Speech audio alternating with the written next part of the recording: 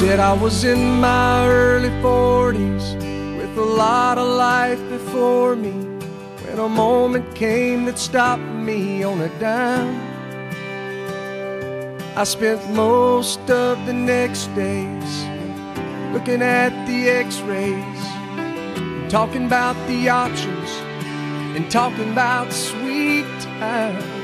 I asked him when it sank in this might really be the real end. How's it hit you when you get that kind of news? Man, what'd you do? And he said, I went skydiving, I went Rocky Mountain climbing, I went 2.7 seconds on a bull named Fu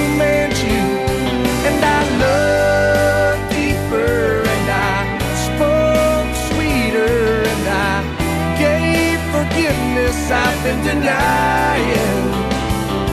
And he said, Someday I hope you get the chance to live like you were dying.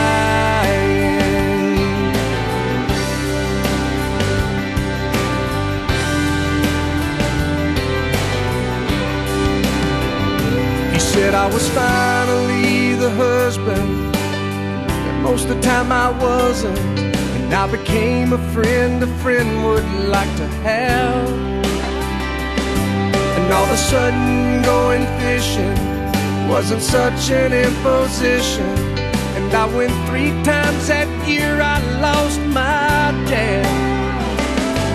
Well, I, I finally read the good book and I took a good long hard look at what I'd do if I could do it all again.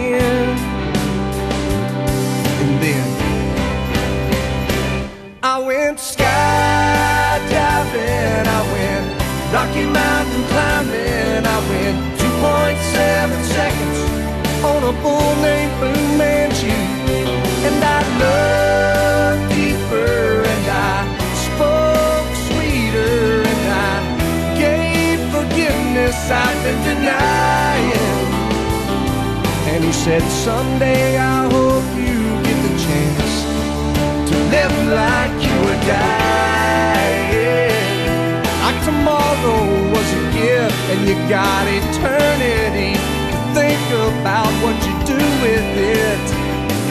What did you do with it? What did I do with it? What would I do with it? Skydiving,